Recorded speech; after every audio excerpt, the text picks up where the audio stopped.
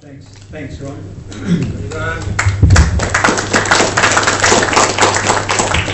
Good morning, ladies and gentlemen. Um, I'll ask you to bear with me today. I don't claim to be an accomplished public speaker, and I guess I've been thrust into a role that I wouldn't assume of my own choosing. And if I thought there was an alternative, I wouldn't even be here. Um, most of the information I want to tell you today I haven't compiled, it's in my head. Sometimes it comes out a little disjointed, but anyway, we'll get there in the end. I guess, um, thanks Ron for inviting me today to tell our story. Um, up until recently, I, and it'd be no exaggeration that all of my community would probably have been in the same position that we didn't know what Property Rights Australia was. We had no interest in it. We had no need to have an interest. Um, we were happily farming on the floodplain east of Cecil Plains and on the Condamine floodplain. We had no veg management issues. Um, it's a treeless plain and it might amuse you to know how many people make comment about us guys clearing all the trees out there when they come out for the first time. But it, it is a natural treeless floodplain. It never had trees and the trees that are there have been established at great pain. So we had no cause to be concerned about property rights as such.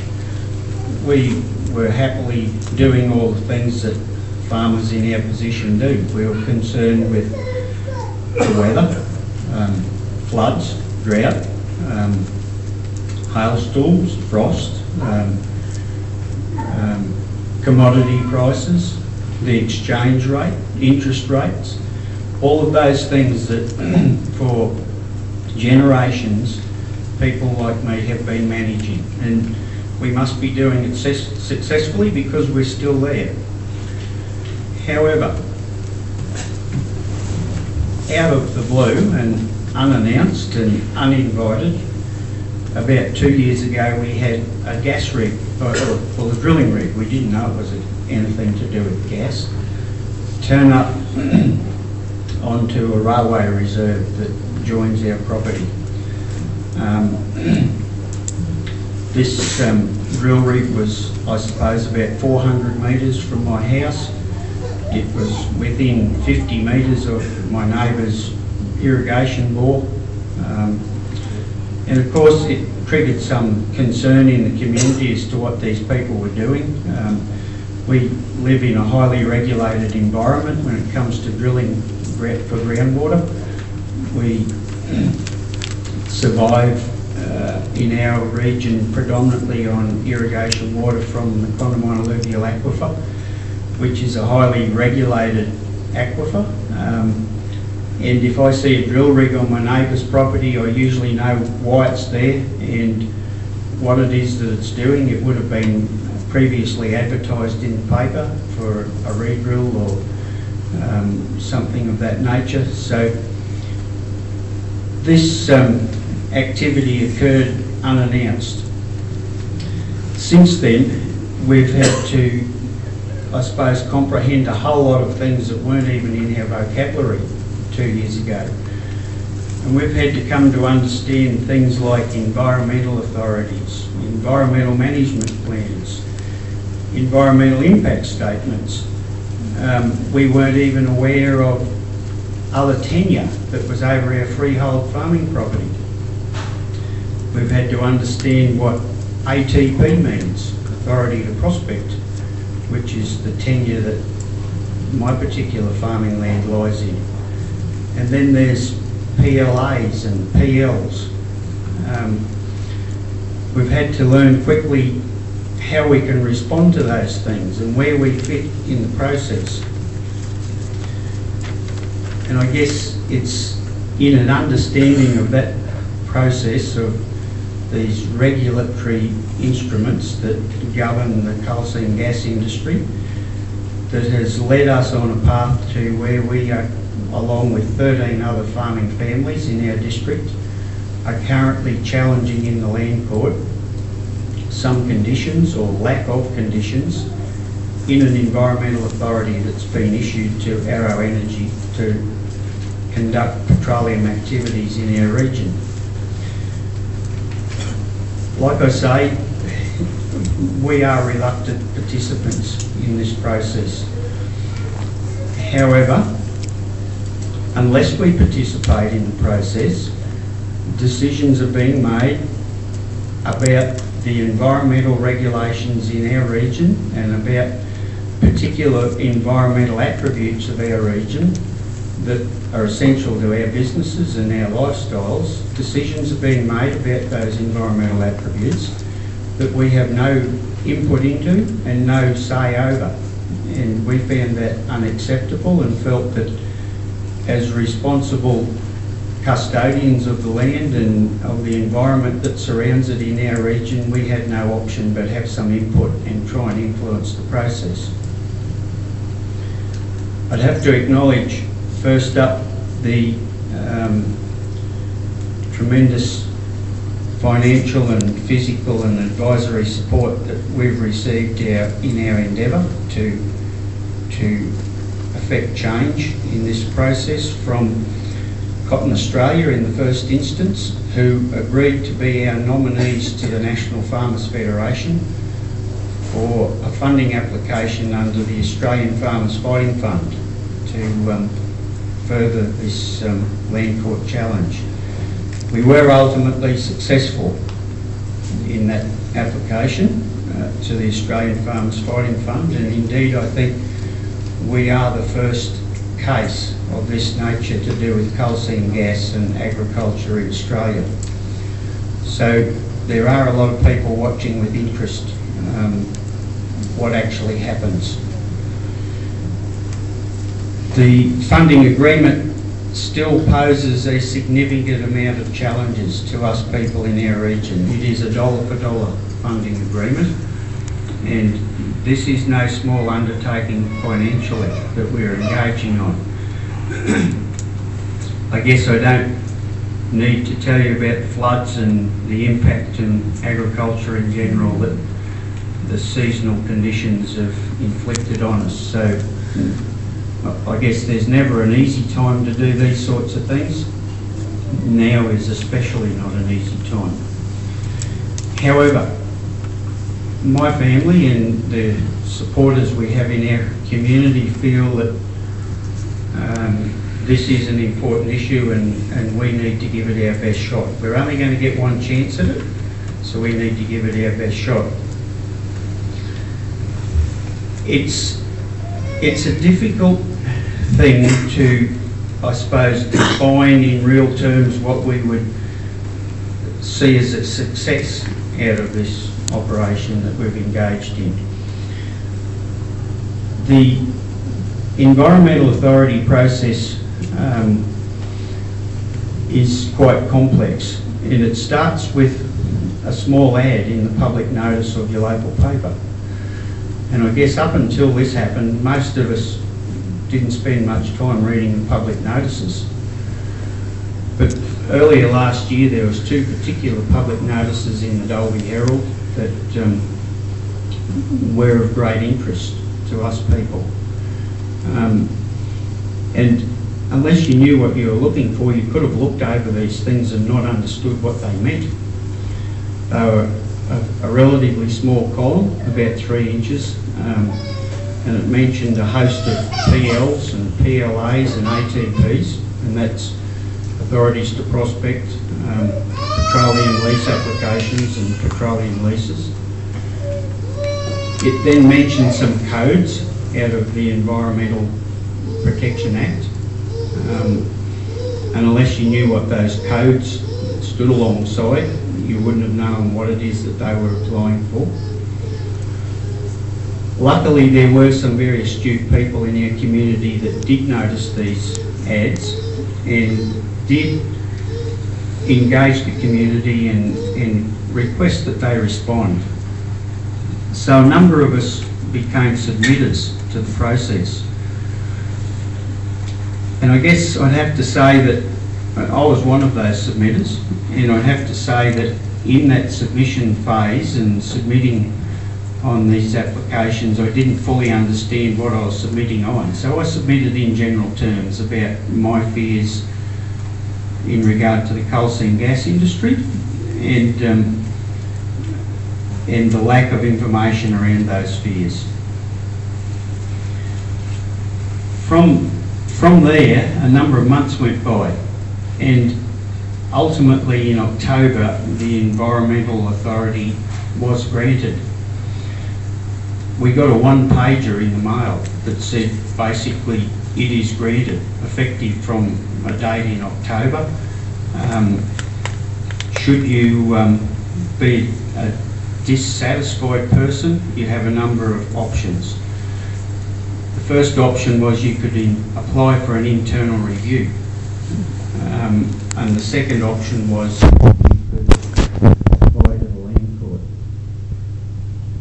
Our community, uh, I suppose, um, was a little unsure of uh, the proper course of action. We, we had numerous conversations with the regulatory arm of DERM, um, who granted the authority, and were a little alarmed at some of the things that we learnt there.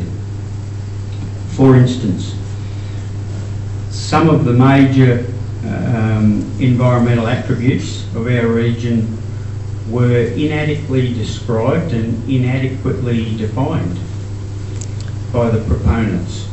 And when we questioned DERM about those things um, and asked, did they ground truth these things? Have you been to this region? Have you seen the diversity over the landscape where this environmental authority applies? Some of the landscape for this environmental authority is floodplain and some of it is tree grazing country and there's a whole range in between. And the reply we got there was that um, it's too far away. We are understaffed and under-resourced. We re, um, rely on the applicants to furnish us with the information that we need to make a decision and set conditions around these things. Now, to us that was unacceptable. Wonder why? You committed offence yourself, I bet they turn up. Yeah, well, like I say, we work under a regulatory regime with our access to water, be it surface water or groundwater, and it is just a world apart, these two regulatory regimes. Um, we felt, given that, that we had no option but apply for an internal review, and we were very fortunate that in our community we have a very skillful woman who is able to put together those sorts of documents. Um, out of the internal review process, we did gain some ground. DERM did concede that uh, some of the issues that we raised were legitimate issues and did amend the Environmental Authority. However, it went nowhere near far enough, nowhere near far enough. All of this was happening over the Christmas period when we had the severe flooding events that we all experienced uh, and we were battling a, a timeline to get this taken further in the land court should we wish to do so. Um, ultimately, we did lodge in the land court. We were three days late in lodging because of the flooding issue. Uh, DERM and Arrow Energy, who are the respondents to our, our um, challenge, opted not to challenge that late lodgement, so we are in the land court with, with um, our um, challenge. The three particular issues that we are challenging on is first and foremost that the Environmental Authority has no conditions surrounding the Condamine alluvial aquifer. And I don't know how many of you understand the process of coal seam gas mining, but it does involve removing large amounts of water from the ground. Um, the industry has um, a high degree of latitude in taking that water from the ground. It's necessary to get the gas, we all understand that. Um, but they basically have no checks and balances in the amounts of water they can take. And whilst they're not taking it from the aquifer that is of concern to us and vital to us, the aquifer they are taking it from is interconnected to a certain degree. So we were concerned at the lack of conditioning surrounding such an important environmental asset. It's not just an irrigation supply, it's a domestic supply, it's a, it's a town water supply to towns like Dalby and Pittsworth and Millmerran. Um, so we were concerned about that aspect of it. The second thing we were concerned about was the very lax conditions surrounding the ability to rehabilitate our black soils. It's never been done before, what these people are proposing to do on our soils with their hard stand areas and their road networks and their pipelines. We're we're not saying it can't be done, but what we're saying is before you would damage something as important as our black farming soils on the floodplain, you would need to demonstrate how you're you going to rehabilitate it and what's it going to look like after you've rehabilitated it. Um, so we're, we're requesting some, I suppose, prescriptive conditions there that would give us a degree of confidence in the industry's ability to um, make good the impact on, on the soils. The third area that we were concerned about was the area of noise. Now I think possibly there is some area there that for a little give and take, but um, the reason we went with the noise challenge was um, both the company and the government have admitted um, that it would be impossible to comply with some of the noise conditions in their environmental authorities and they have an extremely, oh, I suppose you'd call it amount of latitude in those conditions re relating to noise. So we felt that um, they were a little vulnerable there and, and that was the reason we were challenging there. Now, it's early in the process.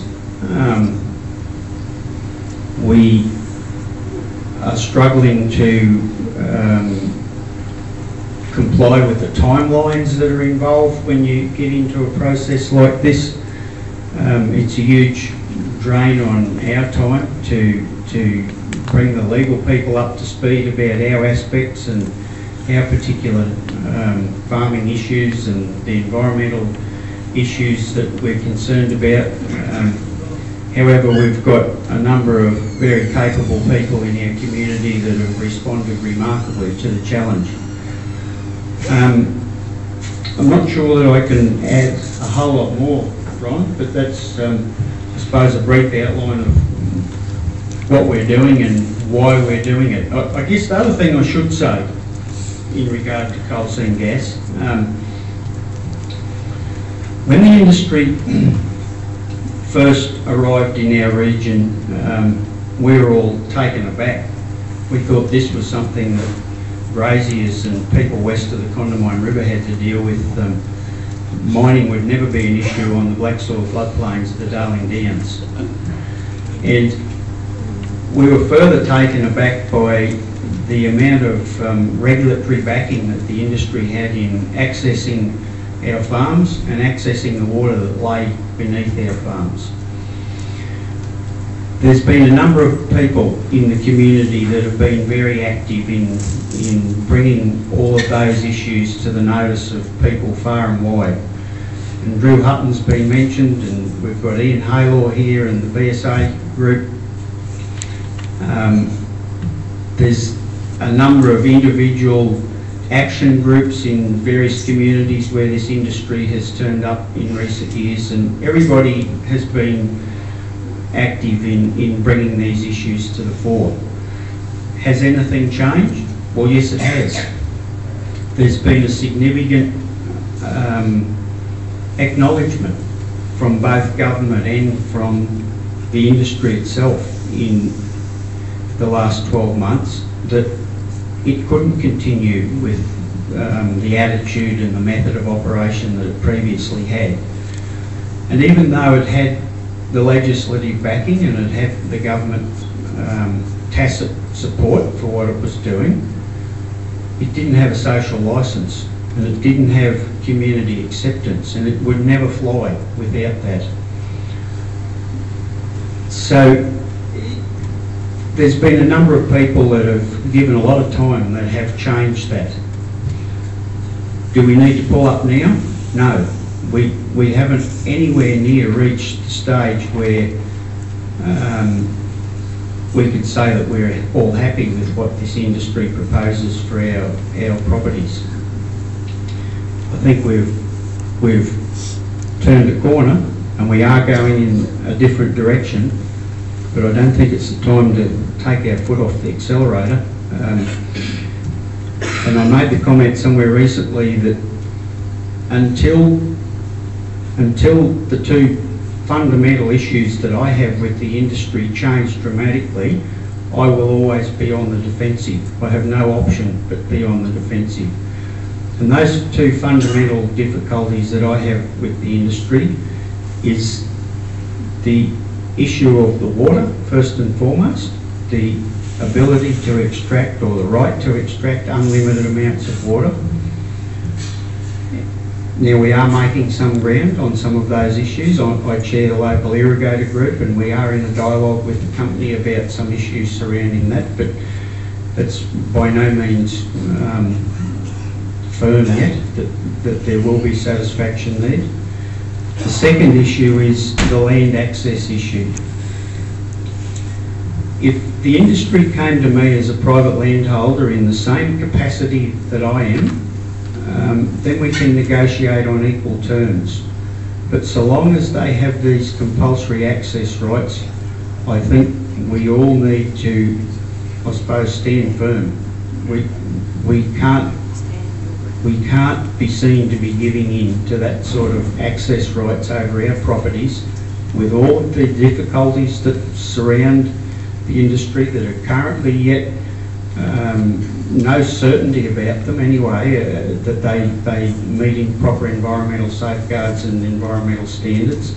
So long as that compulsory access part of the industry stands, it's a concern. And I think um, organisations like this one um, have a role to play in that regard. Thanks, Mick. Thanks, Graham. Uh, we have uh, a couple of quick questions, but what, how I propose to handle this, and I think there's going to be a number of speakers are going to follow on uh, to, to round the whole thing out, and uh, we'll have a, a, a bit of a forum, we'll have a big forum right at the end in which we'll, we'll try and sort out with the knowledge that we've gained. But uh, our organisation has existed since we began on saying, see you in court. And that's exactly what these people are doing. And our motto is stand your ground. Now, uh, this organisation backs everything you're doing 100% because it's exactly the attitude we've taken to these kind of abuses and excesses. Now, the Vice Chairman, Lee McNichol, who you know very well, wants to ask you one question. It's a hypothetical, of course, uh, uh, Graham. Uh, being law-abiding citizens and hard-working law-abiding citizens, uh, we would hope that the legal process that you've engaged in will come out with a just solution for the landholders and for the environment. If, if there isn't a just solution, in fact we get a corrupt solution, uh, my um, response to that is I'm going to lock my gate and defend my property like uh, Paul uh, Manuel until his dying day, whatever it takes. Uh, the question I ask you is, if you are disappointed by the legal process, um, will you roll over or will you fight? And lock your gate. I mean, you don't even have gates down there to lock. I don't, it's impossible for these guys to lock their gates because they don't have any fences. But uh, will you be locking your virtual gate? Yeah, thanks, Lee. Um, um, yeah, I've spent the early years of my farming life pulling down fences. so I'm going to lock the gate. I've got to find one first. Um, at the entrance to all of the farming properties that my family farms and in general in our neighbourhood, there's lock the gate signs. Now, we, Here, here. we understand um, the reality of the situation, that at the end of the day, it's not lawful and it's, um, it's tokenism at, at the best at the moment. But I, I guess it keeps it in the face of both the company and the, and the community in general that we're unhappy. So that's why we've put the signs up, so that everybody's under no illusion that we're happy about this.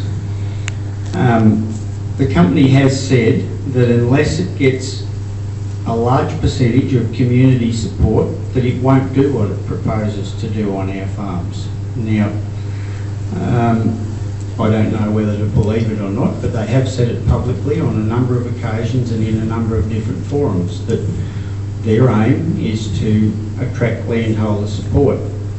I'd have to admit that since they first turned up in our neighbourhood that um, there's been a, a dramatic shift of attitude from the company. And I think that's probably due to the things we're doing and the things BSA's doing and the things Drew Hutton's doing and um, all of those things are helping. I think they have realised that they can't just march onto people's properties anymore. They have to have a social licence to operate. So uh, I guess, Drew, we're trying, I mean, Lee, we're trying it that way first. Um, if it gets to the stage where we have to roll over, well, we'll talk about that then. But at this stage, we're a long, long way from that. And I, I am happy that at least we do have something to talk about. They haven't just um, assumed their rights to come on and come on. So we still are talking, and that's always a good sign. Yeah, yeah I, I, yes, I think that's uh, a situation that we hope uh, will resolve itself. And as I mentioned yesterday, Anthony Watts, when he heard what was going on in the vegetation management, and that visitor from the US last year at our conference said if ever there was a case for civil disobedience, this is it. And uh, yes, sir. On that, I just give one point up. You said we should be on the defensive against injustice. You say we should be on the attack against injustice. Well, I'm the Mick rang me up and said, I'll be down there. He said, I'm six foot four or five, I'm 85 years old, I'm an old soldier. You fought for the country, your father fought for the country. Well said, sir. Ian, don't be too long. What's happening to the water? They extract it. How are they dividing it up? Do they have a plan for a massive uh, turkey nest so you can still have access to Yeah, it? We, we might get around that before the day's out. Uh, Um, 18 kilometres west of where I farm at Norwin, Arrow Energy have a current coal seam gas operation on a property called Grassdale. And any of you who go on Google Earth, just Google Grassdale and have a look at it. Um, they have been operating there for eight years at least, could be more. There are two large ring tanks that they are currently evaporating water out of. Um, we all know the government has outlawed evaporation ponds and there will be a phase out period, I believe, for that. Further north of us, and people here more qualified than me to talk about it, um, Megan Baker knows more about it than I, but they have an embarrassing problem of what to do with the water and they've had to shut down wells. So they, they um, have got no more storage capacity. And they have some obligations to, when it comes to discharging it over land, that makes it very difficult for it to just discharge whenever they feel free. They have to have flow regimes to discharge it to. So currently, there is no answer for the water. However, there is some talk between the industry and irrigators about substituting that produced coal seam gas water for existing groundwater entitlement. And that would mean we would give up a megalitre of water, leave it in the ground and use a megalitre of their treated coal seam gas water. That's in very simple terms. It's not quite that simple, believe me. That has merit and that definitely could work given the right circumstances. So that's, that's one of the options for the water, close to where people are able to use the water. Understand that we have developed irrigation systems and storages and, and the ability to use water. So that, that could work there. But is there any, uh, any um, indication that this is being used as a uh, uh, convenient way of adding to stream flows um, at the expense of farmers?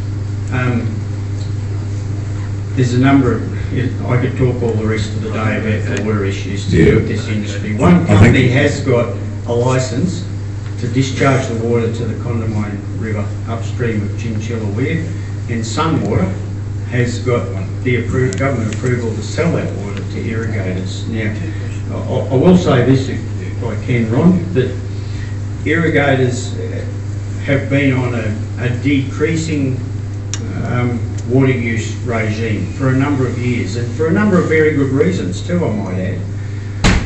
In terms of groundwater out of the Condamine alluvium, it was grossly over-allocated in the 1960s, and that wasn't a malicious act. That was because governments and the users didn't know, and it became over-allocated. And we now are paying a price for that over-allocation. We've voluntarily surrendered 50% of our entitlement in endeavour to make the resource sustainable. And it's the same with people that have access to surface water. We've all heard the Murray-Darling Basin debate, and there's a lot of issues around that that I don't want to get into here. But in general, agriculture has had a diminishing access to water in our region. And we don't argue about that because we see the need for it.